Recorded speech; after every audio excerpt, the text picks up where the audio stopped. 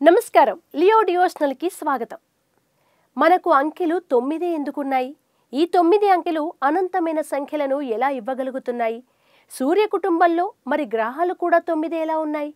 మన జ్యోతిష శాస్త్రం దీన్ని ఎలా అంచనా వేసింది? జ్యోతిష్యం మూఢనమ్మకం అంతా ట్రాష్ అని కొట్టిపారేస్తారు కొందరు. మనకు సుదూరంలో ఉన్న రెండు గ్రహాలు ఒకే రాశిలో ఉన్న విషయాన్ని మన పూర్వీకులు ఏ టెక్నాలజీ లేని రోజుల్లో ఎలా గుర్తించారు? మన సైంటిస్టులు చెప్పిన విషయాలకు జ్యోతిష్య విషయాలకు దగ్గర సంబంధం ఎలా కనిపిస్తోంది? డిసెంబర్ నెల ఇరవై ఒకటవ తేదీ గురువు శని ఒకే రాశిలో అత్యంత సమీపంలో ఉంటారని సైంటిస్టులు తెలియజేశారు. నిజానికి ఆ రోజు గురువు శని గ్రహాలు రెండు ఒకే రాశిలో డిగ్రీల పరంగా కూడా ఒకే చోట ఉన్నాయి. ఈ కలయికను ఎలా గుర్తించగలిగారు? ఈ విషయాన్ని మన జ్యోతిష పండితులు ఎలా రాయగలిగారు? అలా రాయగలిగారంటే మన జ్యోతిష శాస్త్రం కూడా నిజమని అనుకోవాలి కదా? మన వేదాంగాలలో జ్యోతిష్యం కూడా ఒకటి.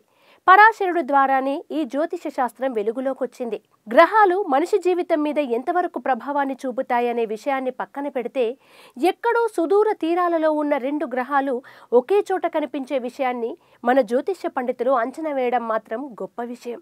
ప్రధానంగా ఇక్కడ ప్రస్తావించాల్సిన అంశం డిసెంబర్ ఇరవై ఒకటవ తేదీన గురువు శని ఒకే రాశిలో అత్యంత సమీపంలో ఉండడం అనేది దాదాపు నాలుగు శతాబ్దాల క్రితం జరిగింది అని మన సైంటిస్టులు అంటున్నారు. వారు చెప్పిన ప్రకారం పదహారు వందల ఇరవై మూడులో ఈ రెండు గ్రహాలు అత్యంత సమీపంలోకొచ్చాయి. గ్రహాల మధ్య ఎంతెంత దూరం? మరో విశేషం ఏంటి అంటే అవి ప్రకాశవంతంగా మన కంటికి కనిపిస్తాయి కూడా. అందువల్ల ఈ కలయిక మీద అత్యంత ఆసక్తి ఏర్పడింది. అసలు మన భూమి నుంచి శనిగ్రహానికి మధ్య ఉన్న దూరం ఒకటి పాయింట్ ఐదు తొమ్మిది ఆరు ఒకటి బిలియన్ కిలోమీటర్లు.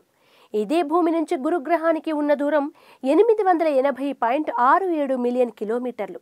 ఈ రెండు గ్రహాలు అత్యంత సమీపంలోకి రావడానికి మూడు వందల తొంభై ఏడు సంవత్సరాలు పడుతుందట. పన్నెండు వందల ఇరవై ఆరులో ఒకసారి ఇలా సమీపంలోకి వచ్చాయి ఆ తర్వాత పదహారు వందల ఇరవై మూడులో మరోసారి వచ్చాయి. మళ్ళీ ఇన్నాళ్ళ తర్వాత వచ్చాయి. డిసెంబర్ నెల ఇరవై ఒకటవ తేదీ సాయంత్రం ఐదు గంటల ఇరవై ఎనిమిది నిమిషాలకు వీటిని మన కళ్ళతో మనం చూసాం కూడా. ఇక్కడ మన జ్యోతిష శాస్త్రాన్ని కూడా పరిగణలోకి తీసుకోవాల్సి ఉంటుంది. ఈ రెండు గ్రహాలు మకర రాశిలో దాదాపు ఒకే డిగ్రీలో ఉండడాన్ని మీరు గమనించవచ్చు జ్యోతిష శాస్త్రం ప్రకారం ఆ రోజు రాశి చక్రాన్ని మీకోసం ఇక్కడ ఇస్తున్నాం. ఒక్కసారి గమనించండి. షష్ఠి పూర్తి అందుకేనా? వాటి మధ్య దూరం ఎంత అన్నది పక్కన పెడితే మనకు ఎంతో దూరంలో ఉన్న రెండు అతిపెద్ద గ్రహాల గమనాన్ని మన జ్యోతిష్యవేత్తలు ఏ టెక్నాలజీ సాయం తీసుకోకుండా అంచనా వేయగలిగారు. అసలు ఈ రెండు గ్రహాలు మకర రాశిలో కలుసుకొని దాదాపు అరవై ఏళ్ళవుతోంది ఎందుకంటే గురువు మకర రాశి నుంచి బయలుదేరి మళ్ళీ మకర రాశిలోకి రావడానికి పన్నెండేళ్ళు పడుతుంది. అదే శని మకర రాశిలో బయలుదేరి మళ్ళీ మకర రాశిలోకి రావడానికి ముప్పై ఏళ్ళు పడుతుంది. ఒక వ్యక్తి షష్టి పూర్తి చేసుకున్నాడు అంటే అతను పుట్టిన సమయంలోని జాతక చక్రంలో గురువు శని ఏ రాశిలో ఉంటారో మళ్ళీ అరవై ఏళ్ళ తర్వాత అదే రాశిలో కలుసుకుంటారు. అందుకే షష్టి పూర్తి కూడా ఈ వయసులోనే చేసుకుంటారు. ఈ గ్రహద్వయం మకర రాశిలో కలుసుకొని అరవై ఏళ్ళు అయిందని మనం గమనించాలి.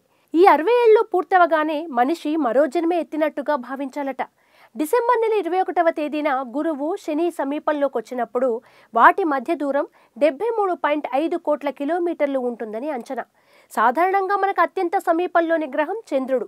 ఈ చంద్రుడి గమనం ఆధారంగానే మన జ్యోతిష్యులు ఇతర గ్రహాలను గుర్తించగలిగారు. భూమి నుంచి చంద్రుడి దూరం మూడు లక్షల ఎనభై నాలుగు వేల కిలోమీటర్లు. మిగిలిన గ్రహాలన్నీ లక్షల కోట్ల కిలోమీటర్ల దూరంలో ఉన్నాయి. గురువు శని ఒకే రాశిలో కలవడాన్ని కంజంక్షన్ అంటారు. సాధారణంగా ప్రతి ఇరవై ఏళ్ళకు ఒకసారి ఈ రెండు గ్రహాలు కలుస్తుంటాయి. ఇలా కలిసిన ప్రతిసారి మనిషి జీవితంలో కీలక మార్పులు కలుగుతూ ఉంటాయని జ్యోతిష్య శాస్త్రం చెబుతోంది. వ్యక్తి పురోభివృద్ధి ఈ గ్రహాల కలయిక వల్ల జరుగుతుంది. ఇలాంటి ఇంట్రెస్టింగ్ వీడియోస్ కోసం తప్పకుండా మా ఛానల్ని సబ్స్క్రైబ్ చేయండి.